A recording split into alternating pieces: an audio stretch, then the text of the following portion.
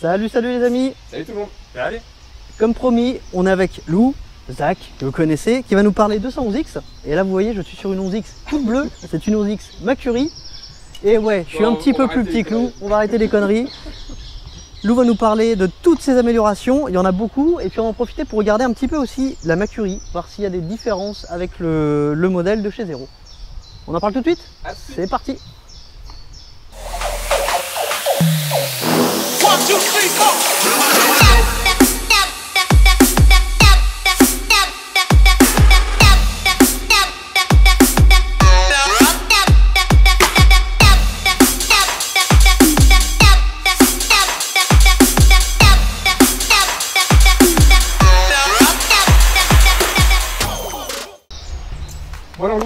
Montrer un petit peu donc euh, ta fameuse 11X avec toutes les modifs que tu as pu faire. Je vois déjà abîmer euh, les freins, la petite pochette, les clignotants, etc.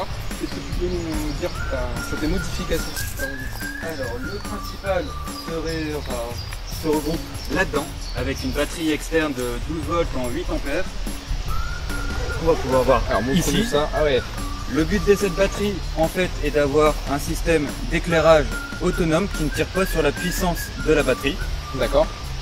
Il se contrôle avec le Komodo qui est juste là.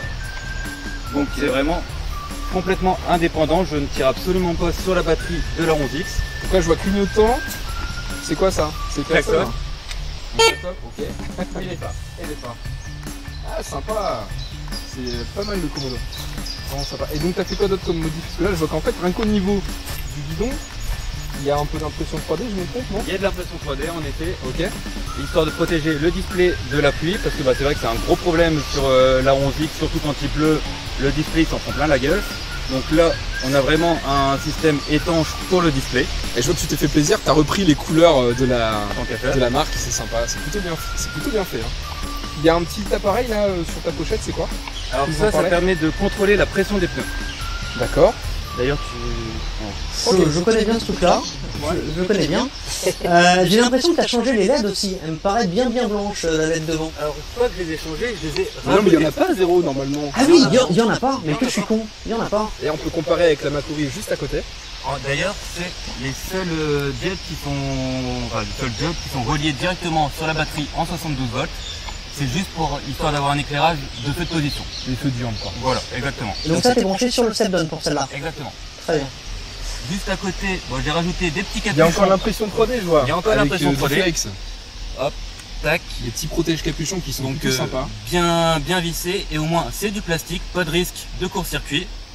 C'est nickel. Tu, tu maîtrises l'impression 3D je vois ça. hein. On fait avec.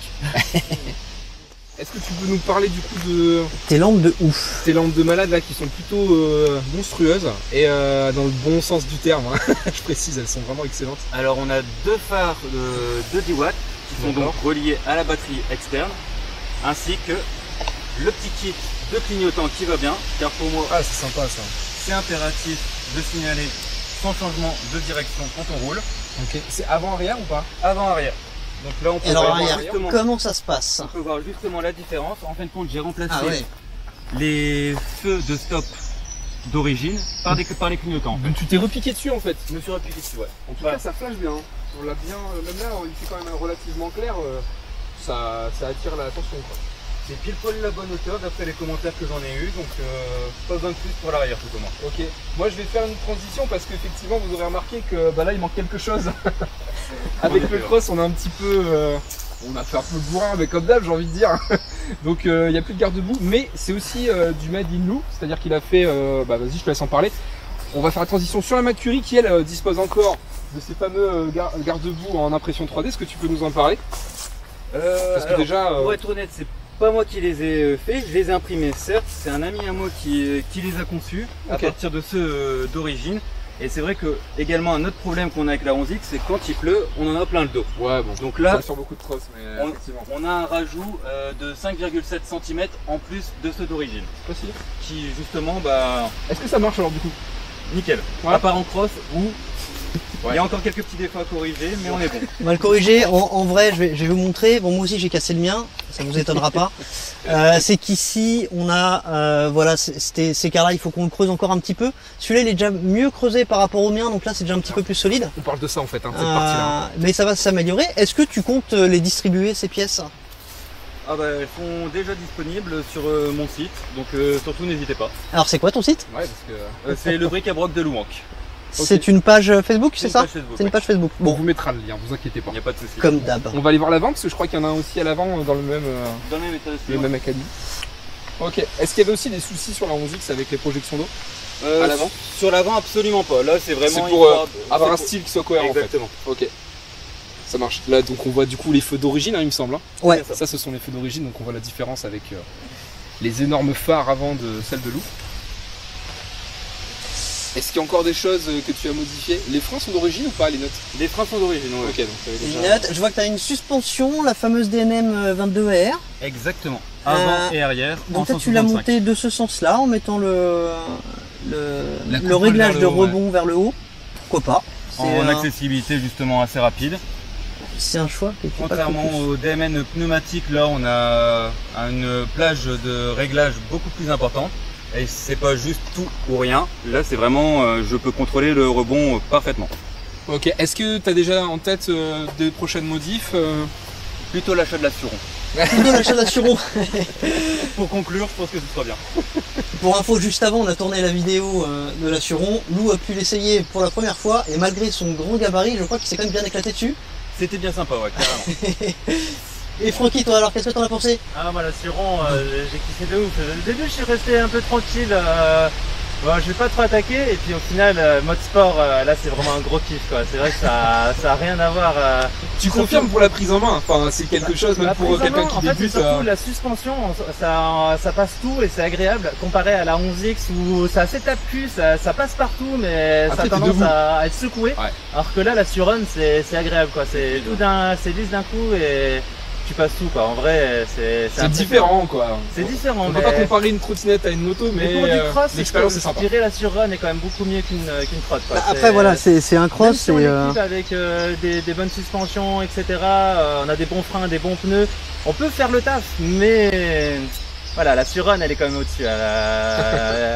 Un cran au-dessus quoi. Ça c'est clair. euh. Agree. Alors on devait vous... euh, je voulais vous présenter la mienne aussi, enfin que vous connaissez un petit peu.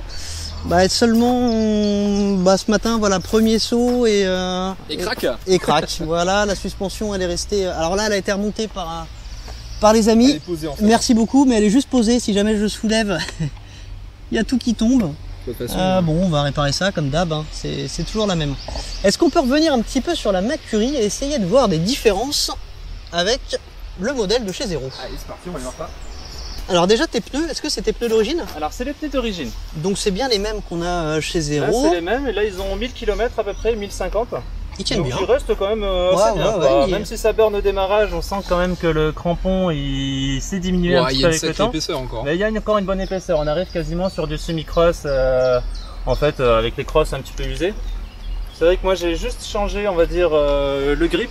On va dire, c'est un grip qui était fourni aussi par Mercury. Donc comme ça, ça fait un ensemble bleu euh, dessus. T'as- eu un grip supplémentaire? Ah, j'en ai eu quatre.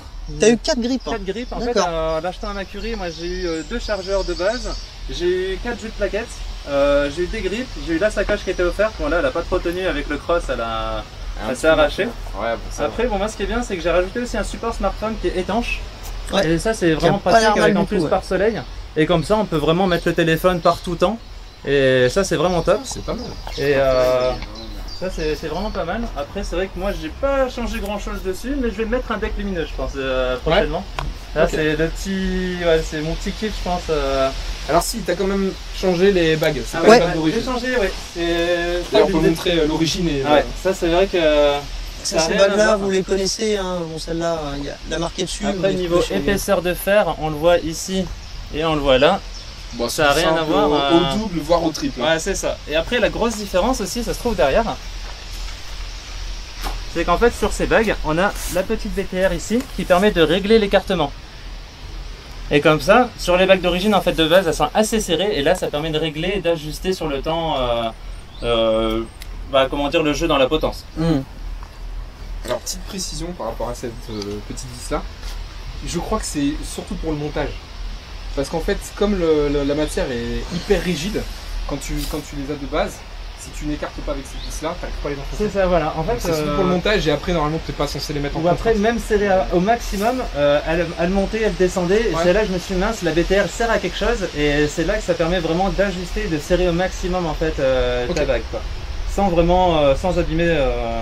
Euh, Est-ce que tu estimes que c'est une modification qui est indispensable sur la Ça, c'est obligatoire. Que ce soit pour 10x ou 11x, euh, le jeu il va se créer obligatoirement. Et Ouais. ça, c'est c'est du- le jour et la nuit. hein. Bon, c'est des pièces que maintenant on trouve assez facilement. hein. C'est ça, voilà. Moi, je, je- je préconise, ouais, c'est vraiment euh, les bagues à changer direct et peut-être les suspensions. C'est vrai que celles de base, elles sont quand même très très dures. Parce que là, c'est des 1500 et Lou, lui, est passé sur du 1100 sur ses suspensions. Et c'est vrai que c'est quand même, euh, quand je la teste, c'est beaucoup plus agréable. Je Ouais. pense qu'il par- faudrait un entre-deux. Moi, je suis en 1003 et euh, Mais, mais par contre, c'est vrai que j'ai resserré la suspension à l'arrière et par contre, pour les hautes vitesses, je le sens beaucoup plus stable. Ouais. Donc c'est vrai que selon si tu fais du cross, si tu fais euh, de la route, ça serait bien d'avoir une suspension qu'on puisse ajuster comme ça, euh, souple ou dure, euh, Ouais. Avec selon, un selon sort de levier ou un truc comme ça. C'est ça, voilà. Bon alors vous l'aurez compris, hein, au niveau des différences entre le modèle de chez Zero et le modèle de chez Mercury, il y a la couleur, les accessoires qui sont euh, fournis avec. Après, euh, même batterie, même moteur, euh, bon, Exactement la même chose, voilà, euh, ça- Pour les avoir démontés, on a, je confirme, c'est bien la, la batterie d'origine Samsung dans 32 ampères, donc ça, aucune différence euh, dessus. Il y a pareil, tu peux parler euh, de ton nouveau contrôleur, le tout dernier de ça, chez c'est vrai Mercury. aussi. ouais. Bah, Moi j'ai grillé euh, mes contrôleurs après une forte pluie euh, au bout de 300 km. Et c'est vrai que j'ai contacté Mercury qui m'ont envoyé en fait un nouveau contrôleur, en fait un contrôleur qui fait les deux moteurs. C'est le contrôleur double Et V3. C'était le, le premier contrôleur, on va dire, qui fait les deux moteurs. Et c'est vrai que euh, je sens une petite différence au démarrage où c'est un petit peu plus. Alors il a la réputation d'être un peu plus coupleux et par contre d'avoir une VMAX un petit peu inférieure.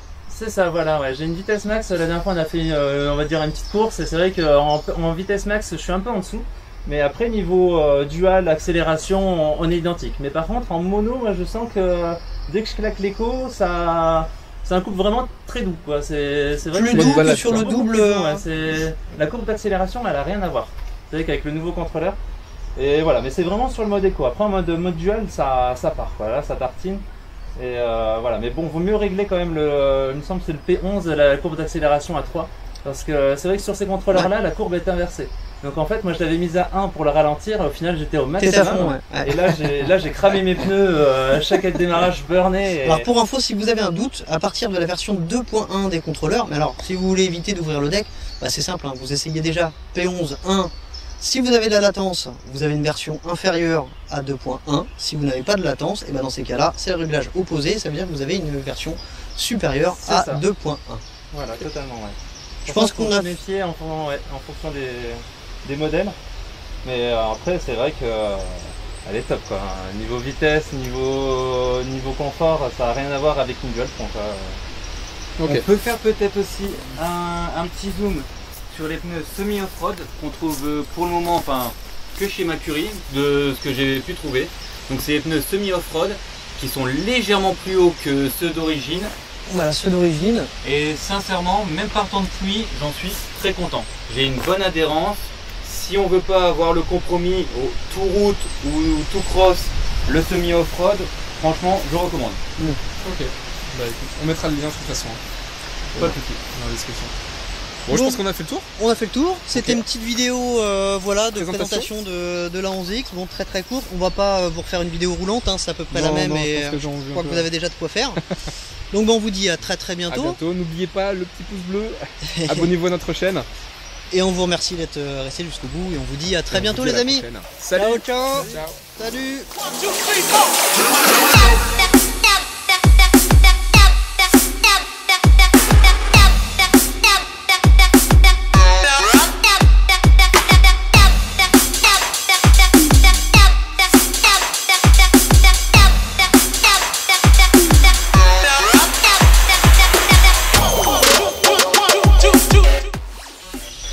Salut à tous. Aujourd'hui. Attends, on leur fait. Alors, juste pour info, quand je tourne la caméra, elle n'est pas du tout axée sur moi en fait. Donc on a juste un bout de cheveux. On. Donc euh, euh, limite, euh, je tourne pas la caméra parce qu'elle est pas du tout centrée.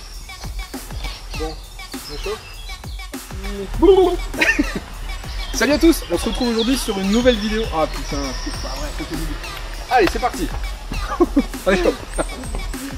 Salut à tous. Salut, salut Aujourd'hui, on se retrouve sur une nouvelle vidéo sur le terrain de cross. On va vous faire une séquence euh, cross, en fait, tout simplement avec la Suron et les 311X. Zéro, t'es en plein devant la suron. Je suis... Non mais alors, désolé, je, je dormais là. ouais, mettez bien là tous les deux sur le côté. On- Voilà.